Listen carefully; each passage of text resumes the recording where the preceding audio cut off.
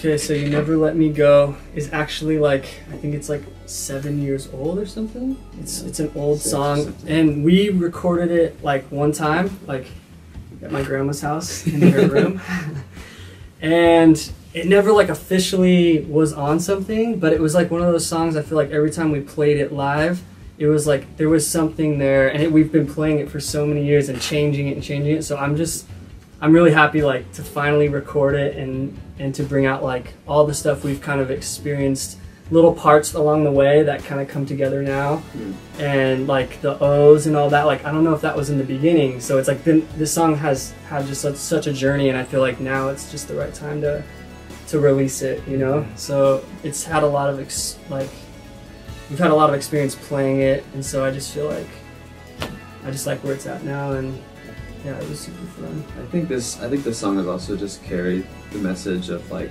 one thing that's super important to us, you know, is is telling people that you know there's a God out there and and that you know He loves you and that you know there's never a time where He's gonna stop you know chasing after you and, and you know He's never gonna let you go. Mm. Um, and I know this song, even though it's it's like a song we played, it's a song that actually has even like helped me. It's it's like encouraged me, and it's just such a good reminder for us to, you know, for us to have. So Mhm. it's a personal song, probably for me too, because it's been around for a while. Yeah, It feels like a tune that's marinated for a while, which is cool. But I felt like when I got it, it wasn't my favorite like to listen to at 1st Mhm. and it's definitely become one of my favorites. Yeah, yeah Because it like there's something there was something like you said there's something in there, and it just like sometimes you get tired of stuff and you know like the ideas surrounding that really good idea is get a little stale, and so sometimes it's just nice to crack it open a little bit, do something, yeah do a little like renovation on it, and it just feels Yeah. good. You know?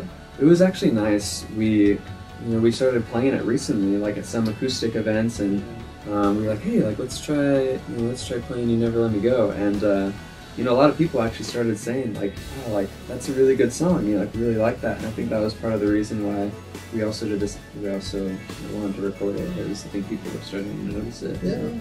Yeah, I was stoked on it. First time Cory played the like fresh demo he did on his Uh-huh. laptop and stuff. Yeah. and just like Oh, fresh yeah. take on it. Uh-huh. And, and yeah, just doing it. Even at most recently like Fusion Day, I just remember like, such a joyful moment Yeah. for me. Like it, it just felt Yeah. so good. It's interesting because it's like not the fastest song, but like live, it doesn't feel like that point in the set where it's like oh, kind of a Mm. chill. It like still has so much to it. Yeah. So like I'm excited for it to see how it transfers live, like even now. Mm. Yeah, especially now.